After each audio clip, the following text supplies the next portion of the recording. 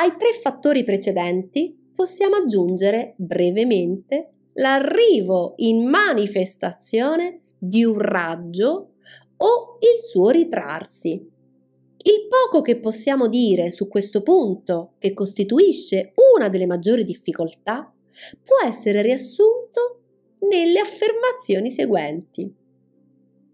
In primo luogo, le iniziazioni conseguite sui quattro raggi minori o d'attributo non uguagliano quelle conseguite sui tre maggiori o di aspetto.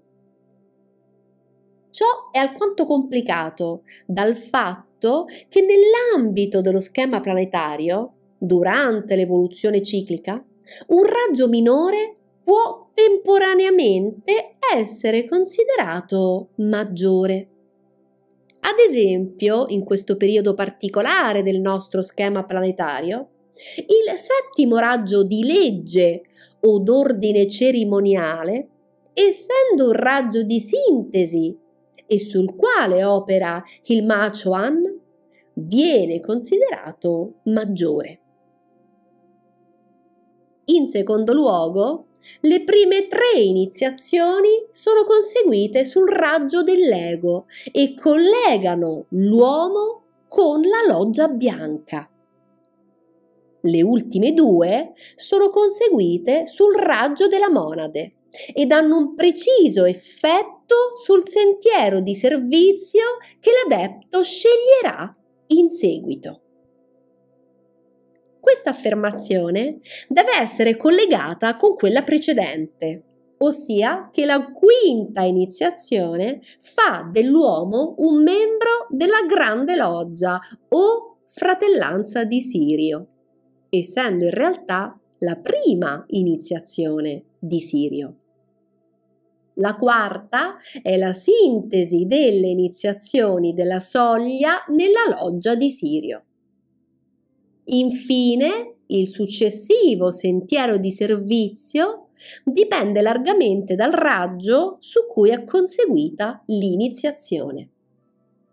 A questo punto si potrebbe chiedere a cosa servano queste informazioni. Per rispondere a questa domanda, lo studente rifletta sul significato dell'attuale arrivo in manifestazione del raggio di legge o magia cerimoniale.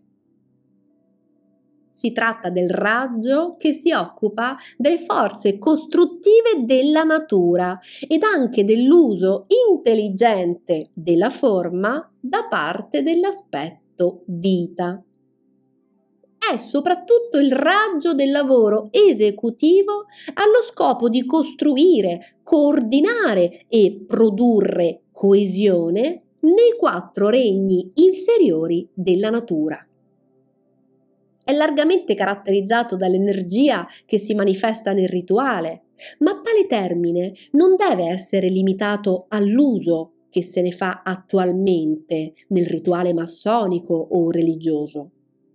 La sua applicazione è ben più vasta e include i metodi di organizzazione operanti in tutti i popoli civili, quali il commercio, la finanza, le grandi imprese esso riveste particolare importanza per noi, essendo il raggio che offre un'opportunità specifica al mondo occidentale.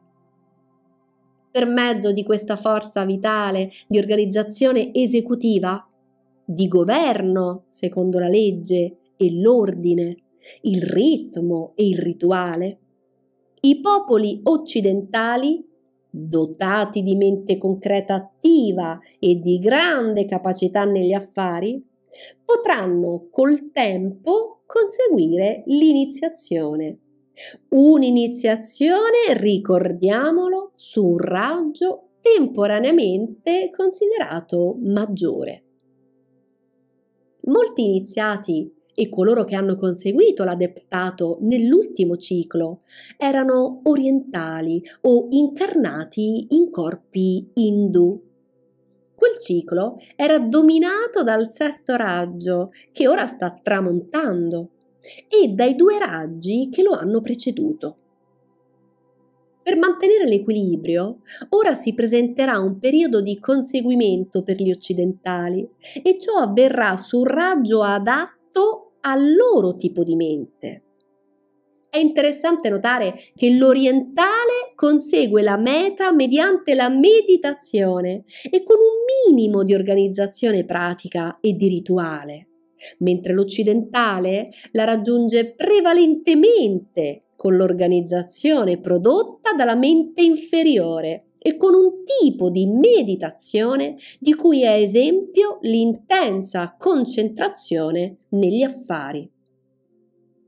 L'applicazione mentale concentrata in una sola direzione dell'uomo d'affari europeo o americano può essere considerata una forma di meditazione la purificazione del movente alla base di questa applicazione porterà all'Occidente il suo giorno di opportunità.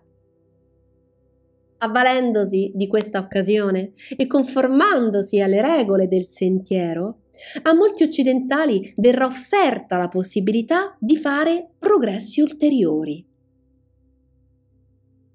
All'uomo che sia pronto questa occasione si presenterà dove si trova, nelle consuete circostanze della sua vita quotidiana. La coglierà compiendo il suo dovere, superando le prove e le difficoltà e aderendo alla voce del Dio interiore, ciò che distingue il vero candidato all'iniziazione.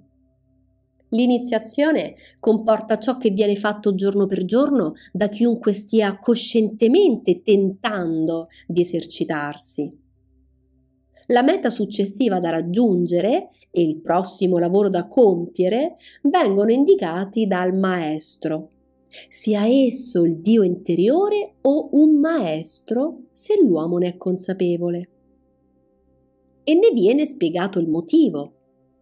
Poi l'istruttore si ritrae in disparte e osserva l'aspirante che attua il suo compito. Osservando, egli ne vede i momenti di crisi in cui le prove cui è sottoposto da un lato focalizzano e disperdono qualche male, se si può usare questo termine non ancora eliminato, e dall'altro dimostrano al discepolo tanto la sua debolezza quanto la sua forza. Nelle grandi iniziazioni viene seguito il medesimo procedimento e la capacità di superare prove e stadi più impegnativi dipenderà da quella dimostrata nel superare le prove minori di ogni giorno. Chi è fedele nelle piccole cose lo è anche nelle grandi è un'affermazione occulta che dovrebbe caratterizzare l'attività quotidiana del vero aspirante. Le grandi cose vengono superate perché considerate semplicemente un'intensificazione di quelle consuete. E nessun iniziato ha mai superato la grande prova dell'iniziazione senza prima essersi abituato a superare quelle minori della vita di ogni giorno. Allora le prove sono viste come un fatto normale e quando si presentano vengono considerate come strutture consuete della sua vita. Tale atteggiamento mentale, una volta adottato, non permette più sorprese o sconfitte.